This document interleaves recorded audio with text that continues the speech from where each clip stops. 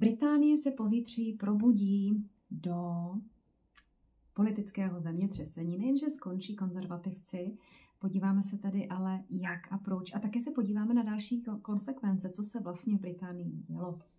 Tak, a proč, co a jak zničilo konzervativce. Článek je na zlondýna.com a mrkneme se na to. Jak víte, čtu teďko pro vás, kdo nemáte z různých důvodů čas si přečíst článek, tak ho teďko pro vás přečtu se svým unikátním a děsivým přednesem. Někteří lidé tvrdí, že to je zábavný článek. Přísahám, že jsem ho psala naprosto vážně, nemůžu za to, že ty věci se takhle dějou. Už dlouho jsem neslyšela tak absurdní prohlášení, které mě zároveň rozesmálo i donutilo kroutit hlavou. A že jich je poslední dobou v politice na obou stranách kanálu La Manche či oceánu dost. I když se říká, že politici jsou přeplacení, nemyslím si to. Ty nejlepší komiky musíte dobře zaplatit, aby vám sehráli bravurní roli v celé té šílené reality show, v níž omylem žijeme. Toto prohlášení bylo ale nejlepší. V pátek budu premiérem, prohlásil s neochvějnou jistotou britský konzervativní premiér Rishi Sunak na sklonku minulého týdne v jednom z rozhovorů poté, co se zítra očekává naprostý debakl konzervativců. Ti vládli Británii posledních 14 let. Více než 100 let funguje v Británii v podstatě systém dvou stran, kdy při většinovém volebním systému se mezi sebou o moc střídají více či méně klasická levice a pravice. Na první pohled tedy vypadá vše v pořádku. Očekává se výhra levicové Labour Party, konzervativci předpokládají, že se přesunou do opozice a jejich předseda bude lídrem opozice a v příštích volbách se zase karty otočí. Jenže dramaticky přibývá lidí, kteří nechtějí už jen další kosmetickou změnu. Že vám to něco připomíná? Pojďme na to. Překombinovaná šachová partie britského premiéra je u konce. Vláda britského premiéra Rishiho Sunaka připomíná strategicky překombinovanou šachovou partii, která ničí nejvíce samotného vykutáleného hráče. Toto během toho během následujících pár tahů čeká nevyhnutelný šachmat, jenž se snaží zoufale odvrátit. Nemá ale jak, došly mu strategie i zásadní figurky. A tak vypouští kouřové clony, které mají zmást nepřítele. Dým se mu ale vrací do tváře, štípe ho do očí a sám už sotva vidí na svoji vlastní hru a ztrácí se v ní. Říct, že byli Britové v šoku, když se z médií dozvěděli, že premiér mluví o posunutí předčasných parlamentních voleb na začátek května, kdy se už konaly volby komunální, při nichž se volil i nový starosta Londýna, tedy opět potvrdil se ve funkci levicově liberální Sadích Khan, by bylo značně ošidné. Zní to dramaticky, ale pravdou je, že lidé tady už od Rishiho Sunaka vlastně čekají jen samé zákulisní hry a náhle výpady a potvrzení něčeho, aby to zároveň jinými slovy popřál. Už nespočetněkrát jsme otevřeli zprávy, abychom četli, že volby budou, a pak vlastně, že ale nebudou ve druhé polovině roku, a pak zase hned začátkem května, aby to Rishi Sunak, který toto nejprve důrazně nepopřel, to opět důrazně popřel. Znovu a znovu stejná hra. Po naprostém fiasku konzervativců v květnových komunálkách pak měli Rishi už jen dvě možnosti. Rezignovat anebo vyhlásit skutečně předčasné volby. Dříve než na avizovanou druhou polovinu roku. Lidé se dokonce pokoušeli sázet, kdy volby budou. Nakonec vyhlásil volby na 4. července Den nezávislosti v USA. Poněkud obskurní datum. Kdy právě Britové neslaví, protože přišli o tuto tak bohatou kolonii. Udělal to Rishi Sunak, který sám pochází z rodiny z koloniálního zázemí. Jeho rodiče pocházejí z Indie, dlouho žili v Egyptě, než přišli do Británie, kde se Rishi narodil schválně Každopádně se to neobešlo bez skandálu, kdy na svých sázkách na toto datum voleb vydělala část konzervativců z jeho blízkého okruhu. Věděli, které datum Rishi řekne, tak si vsadili a vyhráli. Další z mnoha kaus kolem konzervativců, která už snad ani nikoho nepřekvapila. Lidé se jen znechuceně ušklíbli. Budou Indové smutní, když Rishi Sunak nebude v pátek premiérem? A proč by nás to mělo zajímat?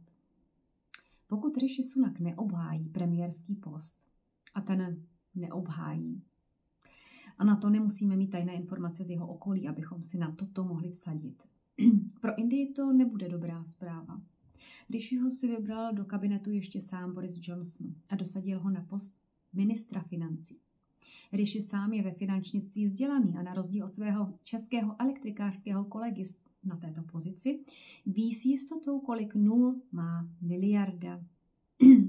A to nejen díky tomu, že jeho manželka pochází z bohaté rodiny indického miliardáře, se to nebojí použít.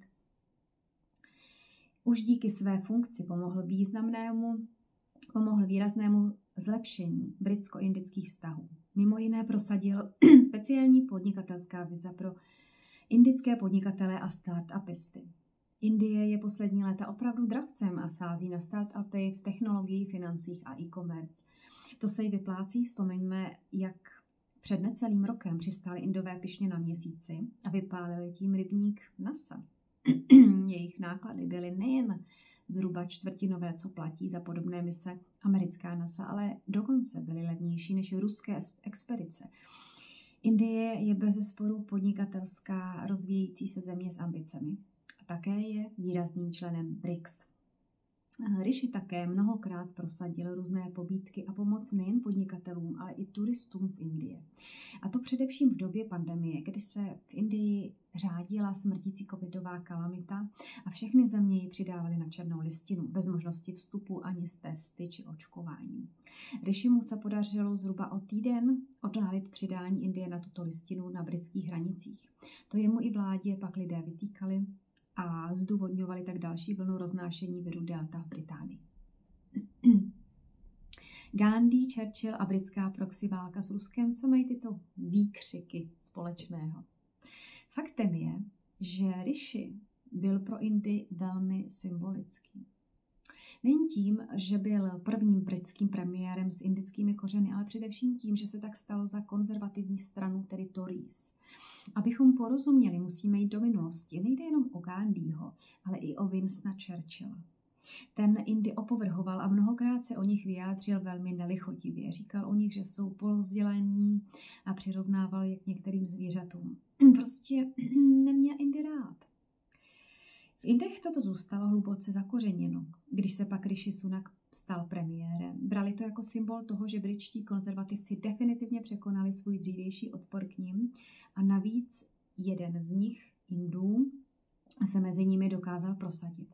O sponsoringu či, Rishiho, či vlivu Rishiho Tchána, který v tom hrál též určitou roli, pak mnoho raději neříkali. Indie hraje též klíčovou roli ve vztahu Rusko-Ukrajina. Indické zahraniční zpravodajství sleduje mnoho lidí ze západu a vím, že i řada lidí z Česka No, prostě protože je to často jediná možnost, jak se dozvědět více objektivní zprávy z Ruska, než je tomu z tradičních západních médií, která uveřejňují pouze účelově novinářsky nevyrovnané zprávy. Indie je v rámci BRICS spojencem Ruska a zřejmě i díky svým vztahům s Británií, která je ve vztahu k Rusku, k opozici, tvoří zajímavý můstek k možné spojnici Británie k BRICS kam by neměla minimálně kvůli zhoršenému vztahu s Ruskem přístup. V politických debatách se jak Nigel Farage, tedy pravice Reform UK, či z opačného spektra George Galloway, levice, strana pracujících, vyjadřují jasně. A i když vládní linka toto popírá, nazývají věci pravými jmény a stojí si za tím, že Británie vede skrz Ukrajinu svou proxy válku s Ruskem. To byl mimochodem jeden z důležitých bodů v předvolebních tématech, které bylo pro vládu i budoucího lídra opozice velmi problematické a dramaticky toto spochybňovali. Už v předešlém článku jsem zmiňovala, jak Boris Johnson ještě jako premiér tu proxy válku nastartoval svým slavným příletem na Ukrajinu a zavázáním si Ukrajince s důrazným si vynucením slibu, že nebudou usilovat s Ruskem o smírné řešení. Jeden bod jsem ale nezmínila a zde se k němu dostanu skrze BRICS. Pošilhává Británie po vstupu do BRICS? Hmm. Ale Rusko je trošku problém. Asi by ji tam nadšeně nepřivítalo po tom všem. Během brexitového referenda se linula vším jedna hlavní jedna hlavní nit. Na brexitáře, tedy lidi, kteří podporovali vystoupení Británie z Unie, se takzvaně házelo, že jsou to xenofobové a nechtějí se spojovat s dalšími národy s tím, že je nemají rádi. Za sebe vím, že nic nebylo dále od pravdy. Sama jsem strávila mnoho času při natáčení právě i s brexitáři. Naopak spolupracovali úzce s francouzskými žlutými vestami, s brexitáři, tedy Francie Exit z Evropské unie, kam se ke mně, ke mně se chovali přátelsky s respektem.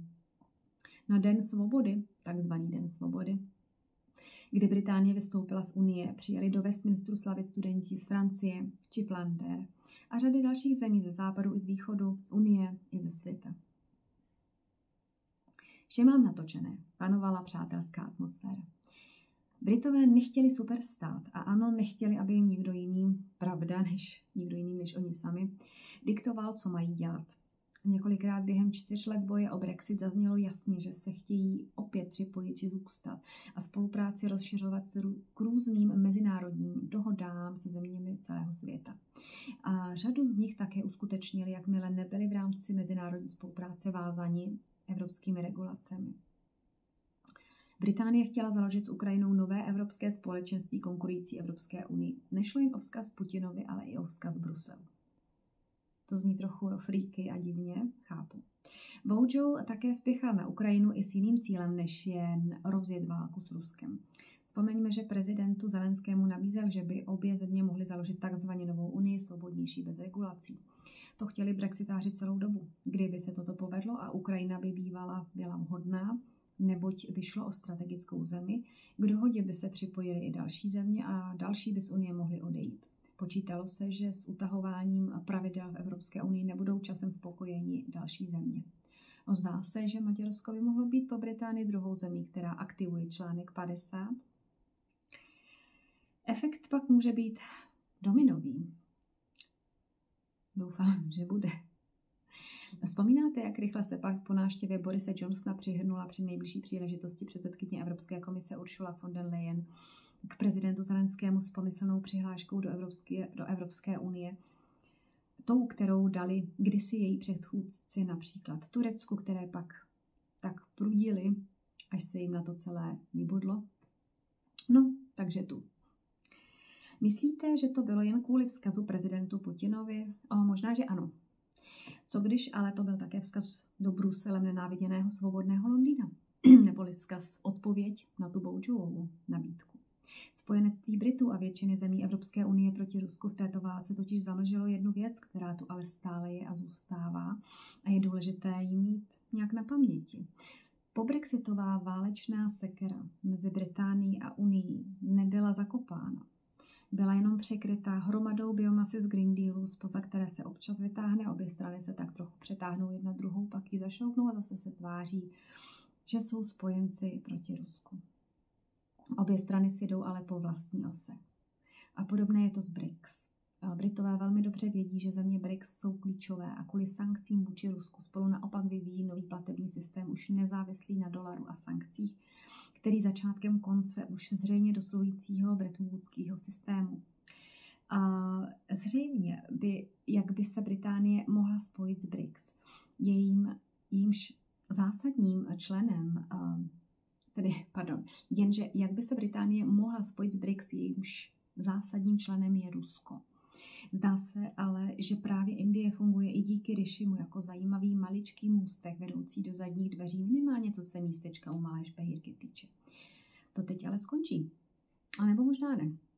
Co se ale bude dít, až na místo Rishiho Sunaka nastoupí zřejmě Keir Starmer? O tom si povíme později, stejně jako o rozpolcené levici. Také si ještě znova připomeneme spackanou smlouvu s eh, Rwandou a migraci a povíme si, co s ním bude dělat Keir Starmer. Julian Assange je volný a plánuje revoluci. Ještě si neos- neodpustím malou doušku o politickém vězni Julianu Assangeovi. Ten byl konečně po pěti a půl letech svého držení londýnském vězení Belmarsh na žádost Spojených států amerických propuštěn. A Britům i Australanům se opravdu podařilo domluvit s Američany jeho propuštění, byť musel přiznat vinu. Jeho vina byla, že zveřejnil materiály o zločinech americké armády v Iráku a dalších zemích. To bylo vyhodnoceno jako účast na spiknutí proti americké bezpečnosti. Hmm. Tak funguje demokracie a svoboda slova na mnohými Čechy stále ještě glorifikovaném západě. Každopádně vyměřili trest, který odpovídal o něm pěti a půl letům, který, které si tady už odseděl, nebo který si odseděl. Před týdnem se tak jako svobodný člověk vrátil k manželce a dětem. Snad bych mohl alespoň trošku Rishimu Sunakovi toto přičíst k dobru. Bylo to za jeho vlády, byť mu to asi už moc nepomůže. Jaký dopad ale toto má? Kolem Assange se vytvořilo hnutí za svobodu a svobodu informací a také proti válkám, do níž jsou Britové a Američané zapojeni. Tedy hnutí nyní i pro palestinské a zároveň proti podpoře zemí NATO války na Ukrajině, tedy proxy válce. K tomu připočteme ještě sílící snahy zemí takzvaného tedy Commonwealthu, dříve kolonií, se osamostatnit od Británie a napadá vás, o jakou kolonii neboli moderním způsobem nazývaným, tedy země Commonwealthu, by ještě dnes mohla Anglie přijít? Právě Austrálie. Z celého předvolebního šílenství se totiž ještě osvobozený Julian Assange po svém propuštění prohlásil, že se pustí i do boje za osvobození Austrálie, tedy od Británie. Toto jsou další důvody, proč považuji volby Británie a poté v USA, Francii a dalších zemí není tak důležité. Společenské nálady jsou velmi vyhrocené. Lidé přestali věřit politikům a vidí chyby v systému, který buď chtějí napravit, opravit, reformovat a ti velmi naštvaní zničit a vystavět nový na zelené louce. Část z nich ovšem tím myslí tu Green Dealovou. Svět se mění a zdá se, že nakonec o, jde o přirozenou změnu, která se vždy po určitých cyklech v historii opakuje. Říká se, že jsou to skvělé časy pro spisovatele, novináře, historiky, ale mizerné pro obyčejné lidi. Do těchto časů, zdá se, jsme právě z posledních sil a i palubních zásob dopluli. Hezký den, hezký večer a pokud jste Češi žijící, eh, Češi a Slováci žijící eh, v Británii, tak eh, šťastnou ruku, pokud můžete volit voleb. Hezký den, večer, přeje Janina z Londýna.